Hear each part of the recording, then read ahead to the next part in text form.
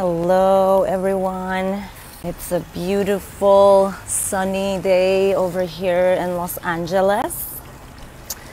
And I am here, the beautiful rooftop of Ancient Light Curative by this beautiful water fountain right behind me. I wanted to locate it there so that you can see it.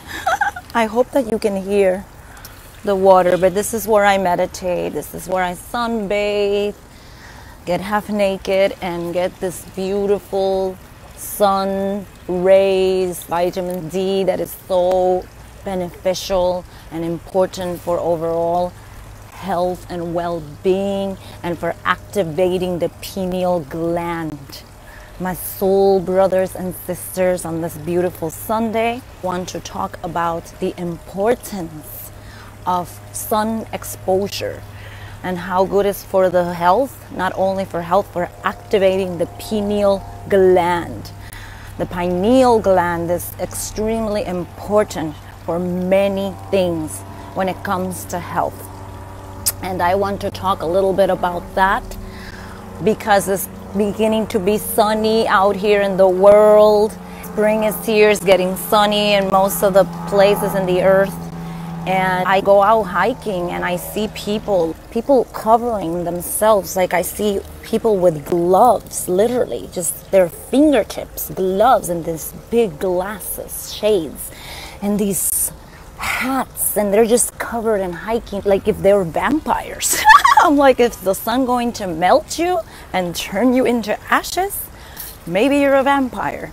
But if you are a human being, then you are a organism as plants are that need exposure for of the sun to grow, to ascend, to become healthy, to regenerate the cells in your body.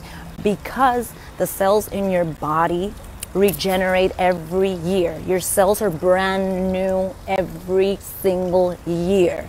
However, if you cover yourself and hide from the precious sun, then you are blocking certain hormones that help the protection of the skin for causing of cancer and other conditions. And i'm going to explain why okay? So first thing let's talk about what is the pineal gland the pineal gland is located right in the center of the brain, and this gland is known to be the main point access between the physical and the astral body. In other words, spirit, because we are spirit inside an avatar body, just like the engine of a car is inside of the outside of the car is the engine that makes the car, the vehicle move, not the car. Same with us, we are spirit inside. So the pineal gland, also known as the third eye. and it's a tiny little gland, very small and very powerful. And the size of a, a little pea. And it's in the shape of a pine cone, actually. That's why you see in the traditions of Hinduism, Kundalini, and so forth, you always see this pine cone that they put in their heads and they worship and everything because it's in the shape of a pine cone. It looks like one, a tiny one. And that's where the name pineal or pineal gland comes from. From pineal, if you spell it, it, is very similar, comes from the word pine, as in the pine cone. So, this beautiful gland of ours, magnificent pineal gland that we have so tiny, produces neurochemicals that are essential for overall health, well being, and especially in the spiritual development. Okay, I'm going to mention some of these neurochemicals and explain a little bit what they do. So, one of them is the melatonin melatonin is for inducing sleep. Okay? So the melatonin comes at night. That's why you're supposed to sleep with all darkness. And I will be doing a live video of how I do Tratak meditation, which is concentrating in one point with a flame. And it's beautiful. You do it in the dark, and it helps with the production of um, this melatonin. And it's, it's wonderful. And that's for another video. But this is one of the neurochemicals that it produces. The pineal gland also produces dimethyltryptamine, also known as DMT, right? This amazing spiritual molecule. and dimethyltryptamine is produced by plants, is produced in animals, and is produced with the combination of ayahuasca. A lot of you have heard the vine ayahuasca. You mix it with chacruna or wambisa leaves, and that could be another story. You can look this up, and it produces DMT that produces hallucinogenic and is profound healing and spiritual awakening and a human consciousness. And we produce this gland naturally. DMT is a Schedule 1 illegal substance in the United States, of course. Like every healing plant that is natural and free from the earth has to be illegal so that the pharmaceutical business don't get thrown, right? Out of the bus. That's another story. But um, so we are carrying and producing this illegal substance in our brain constantly. And that's very important. Another neurochemical that the pineal gland produces is melanin. Melanin is responsible for producing color in our skin, in our eyes, in our hair. It's protect the skin. And I'm going to speak about this exactly. But um, another neurochemical is serotonin.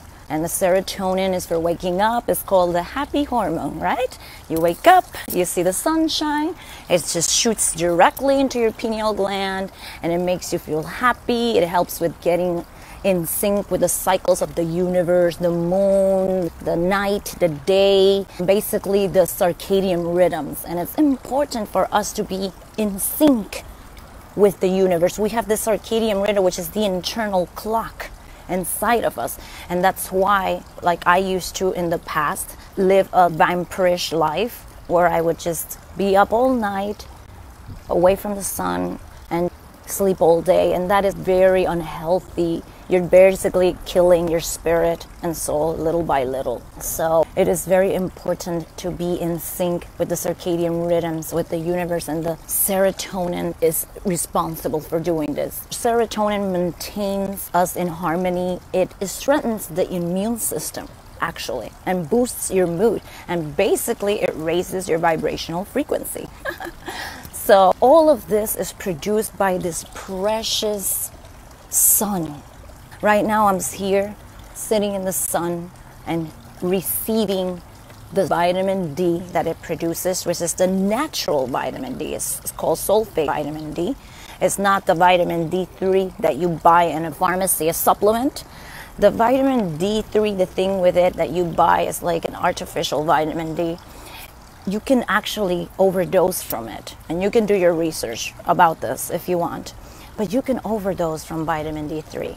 The sulfate rays of the sun, you can't. Have to be very careful, of course, with the exposure of sun. There's certain times of the day that it produces the vitamin D. There's others that are a little more brutal. For instance, in the northern hemisphere, up in Canada and those places where it's extremely cold, where the sun is never out, you want to get sun exposure in midday, 12 at noon.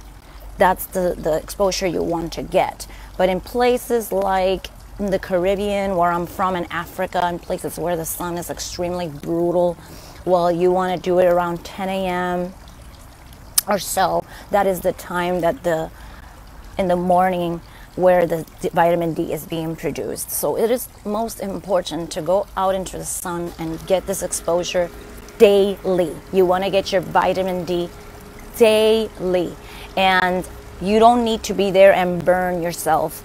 15 to 20 minutes that you go on the sun, it's enough. There's this ridiculous, nonsensical misconception that the sun rays cause cancer. This is so false. What causes cancer is sunscreen. What causes cancer is GMO based lotions, What causes cancers is this perfumes that we put full of chemicals, of these alcohol based substances, especially with the GMO and the sunscreens have some sort of aluminum in it. So if you're putting something with aluminum and chemicals on your beautiful skin, and the rays of the sun is going to reflect on it, right? And it's going to penetrate, and that's what's going to create cancer in your skin. So it is most important to stop. Just stop. I see those people with sunscreen, and I'm like, do they know that they're actually stimulating cancerous tumors within their skin? What I do that's why I have this beautiful tone of skin always and so healthy. I use coconut oil. Natural, organic, raw, completely organic. It's important that if you use lotions, they are organic, they're based with natural ingredients. And I just oil my skin on coconut oil and then I go tan and do my 20 minutes depending on your kind of skin. I'm olive the darker you are, the more you can absorb vitamin D. The people very, very pale with like very, very white skin don't need to get that much sun exposure. It can be damaging. So you can put some oil on your skin and go out maybe 10, 15 minutes of vitamin D. That's good enough. And I want to mention with the pineal gland is you can calcify it with things such as fluoride, especially fluoride. Please, people, do not drink tap water tap water that only has chlorine and all these other bad chemicals, it has fluoride. And fluoride is very hard to get rid of. Even a filtered water cannot get rid of fluoride. And fluoride will most definitely affect and calcify your pineal gland. So please let's start drinking more clean water. I drink distilled water. That's the best water. So it's oxygenated water and nothing can attach to it. No chemical can attach to it. And you can just sprinkle some lemon juice like I do and it's automatically alkaline. You alkaline your water with lemon juice. Stop buying all these ridiculous alkaline water that they sell. I used to do that. $10 for this little gallon for alkaline water. You can alkaline your water with a lemon juice. It's more natural, it's better, and it's completely alkaline immediately with lemon juice. Of course, GMO foods, anything that contains all these chemicals that the body is, does not recognize, is going to put an effect in your pineal gland and your overall body and health. So it's most important to eat organic fruits and vegetables, natural things that the earth produces, because we are like the plants. If you really think about a plant, what happens if you take your plant and hide it away from the sun? What's going to happen to that plant? It would die, right? It will completely die. It needs the light. If you see little plants, it just they find a way. They even go through concrete. You could put concrete on grass, and you can see if there's a little crack, it will come right out. It's seeking for the sun. It wants to grow like the sunlight. We will die. We are organism species. Bottom line, if the sun ever goes that is the end of us, okay? The plant organisms are the first species to die, the animal kingdom is the second, and then humanity will die as we know it. So stop being afraid of the sun. Please share this information, research about these things, okay? What I want to talk about is sunglasses specifically. Sunglasses is known to actually help the production of cancer Yes, your cool sun shades, okay? Those cool shades that make you look really cool are not so cool. it's not smart to wear sunglasses. We want to be smart, not look cool, okay? I will explain you this and I will give you some information. You can do your research on this. But what happens when you put sunshades on is first and foremost, the sunlight right now I'm looking at here, I'm not directly looking at the sunlight, but the sunlight, the rays, the healthy rays are going straight to my pineal gland through my head right now and my forehead and, and the eyes, especially through the eyes. The eyes are lenses that we have. And as soon as the rays of the sun enter the, the lenses of our eyes that we have, it receives the sun rays, the white sun rays, and that produces the seven spectrums of the color. So it's important that we expose our eyes to the sun. So when you put shades on all the time, the body automatically thinks it's getting dark, that it's nighttime and that it's time to sleep. So it stops the production of melanin in the skin, which is what protects you from any sun damage. So basically, melanin is like the sunshade that protects the skin. Medical researcher and author, his name is Andreas Moritz with a Z at the end. Andreas Moritz. Brilliant man. If you want to know more about this, search that man. But sunglasses eventually causes cancer, so ditch the cool shades. Okay, there's no need to waste to spend so much money in these expensive, ridiculous glasses that I used to do that. And they used to be lost all the time. And you can use that money to buy yourself some healthy, organic food and stop going to drive through a Burger King and McDonald's, you know, this fast food. People complain like, oh, organic food is so expensive. And they're like with these $200, $300 shades. Come on, people. We're intelligent beings. Let's demonstrate that that's the difference between animal kingdom and humanity. That is a big difference. So it is important that we meditate on the sun, out in the sun daily. So when you walk around, you don't need to stare at the sun. you know what I mean? Some people's like so bright. The reason it's so bright is because you're so used to the sunglasses. I used to be like that. And look at me. I'm, I'm, here. Actually, I can I do sun gazing. I can stare at the sun. I'm staring at right now. And I'm fine. And I'm going to tell you guys a little secret that happened to me the moment that I dished the glasses. The moment I dished the glasses and I stopped and going out in the bright like that and just embracing it like this, what happened to me is that when I start hiking, I sometimes hike at night and I hike in the mountains and I see these people with these flashlights. It's, it's so bright and annoying to me. I've like gained this animal vision, like the owls and like the wolves you see them, they hunt at night. they can see everything. How is it possible that they can see everything? I started seeing every detail in the ground when I was walking. Like, I was like, wow, I see everything. And I wasn't like that before when I wear shades. So your vision improves. Believe it or not, it does, especially in the dark. I noticed that I was just seeing things better during the dark, at night in the darkness. I can appreciate everything. I was hiking in the mountain and it was still dark. It was pretty dark. But the reflection of the moon, even if it wasn't full completely, just the reflection, I can see things that I was going and I decided I'm not going to turn the, the, flashlight on. I can see perfectly fine. I was just there in sync with the animal kingdom. I was like just like one of them.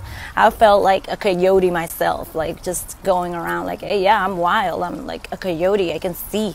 And the people around me with these flashlights that they couldn't see and it was so bright and annoying to me. I was like, just please, can you turn off that flashlight? It's just disturbing my hike. you know? That's something that happened to me. And it's important, this, the sun exposure. So I just want to put that out there. I'm trying to think if there's anything that I'm leaving out. I think that's it. I want to promote um, more sun exposure for you beautiful human beings and to teach the children these things. Stop putting the sunscreen, like you're spending money in these things that are causing cancer. It's made on purpose for that. The powers that be, we're in slavery. I mentioned before how we're still in slavery. It's just a smart slavery now. Instead of abusing you and having you, grabbing you by the neck, putting you a leech, like they don't do it that way. They still have you enslaved. How? Because they're just draining your money. It's like parasitic world that we live in. This is the matrix. So we have to be able to live among the matrix, empowered and free. Free. Liberate yourself from these attachment of the matrix. So they put the sunscreen out there with a full of this aluminum so that you get you cancer and then you have to go to the doctor and yeah you have tumors and they have to remove these tumors and this costs all this money and you have to you know get a radiation and you know like all this chemotherapy that's costs thousands of dollars. And then you have the pills. It's, it's, it's like a continuous like draining of energy and money and sucking. It's just we have to break free from this people. Okay the sun is like to me God. And if you even believe in the Bible, you go by these principles. It does says that the sun, they say, is Jesus and that is God. It's the universal energy life force, right? Like even in Reiki, it's like ki, it's chi, it's energy, it's prana. It's part of prana. It makes us grow like the plants. It gives us this beautiful glow in our skin. So please stop hiding and ditch those glasses. Give it a try Go out, take a week or two without your glasses. And at first, because you're so used to it, it's going to be bothersome. But continue trying. Just try. Look at me. I'm right here with the sun. It's not bothering my eyes. It's like I get used to it. It's very, very healthy. So let's start stimulating, activate the pineal gland you know, the third eye so that we're more intuitive. So we develop our psychic abilities that we have. We all have psychic abilities. If we have a pineal gland in our brain, it's meant to be developed. Okay? My beautiful people, you have this ability. Okay, that's what gut feeling, that sense of like, oh my God, I, I know better, your higher self. And it comes from activating the pineal. Start producing all these amazing and wonderful neurochemicals that this pineal gland produces for our own overall health and well being by exposing yourself to the precious sun. The tanning beds are ultra blue lights that create even more cancer. Do not lay in tanning beds for God's sakes. Like, that's the worst that you can do to your skin. You're just burning yourself with pure aluminum. That's just really gonna give you cancer. The sun is out there every day for you and it's free and it's beautiful. It, it produces sulfate vitamin D. Nothing else produces that. Okay? So I hope that this motivate you to be embrace more this beautiful sun that we would die without it, right? On this beautiful Sunday fun day, the day of the sun, because that's what Sunday is. Sunday is the day of the sun. So, in honor of the sun, I invite you to embrace it wherever you're at in the world. And if it's really cold and cloudy, always where you're at, remember that even when it's cloudy, just the fact that there's daylight. Is still there's like light that you can see just going out even being between the clouds. Even when it's cloudy go out in the middle of at 12 noon if you live in Alaska and Canada or somewhere in UK in these places where it's really cold and very like cloudy and just dull you are still getting some vitamin D if you are going out in the middle of the noon. Um, you're still going out I have to show you guys this oh my gosh it's um, the hawk is flying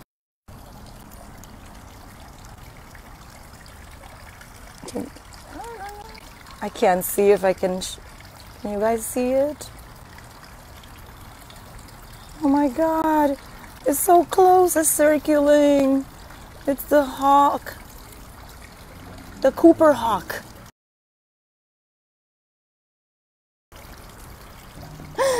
Oh, I wanted you guys to see that. My spirit animals and guys are all around me. This right now to me, because I have a special connection with the hawk, it's a spirit animal. When I go hiking, I always see this hawk surrounding me, and I actually found a big Cooper hawk feather, and I have it there. It was a precious gift of spirit, and whenever I'm speaking these things, speaking some truth to spread awareness in humanity, and I see a spirit like that just he's gone now but it was it was right there in front of me circulating that's a sign to me because I am so in tune with the universe and with spirit and with my higher self that I know that it's like a sign of you're doing the right thing. And that I'm surrounded with my beautiful angels and my ancestors and my spirit animals and spirit guides, and it makes me so happy. I'm so, so blessed and grateful right now for that, just for that moment.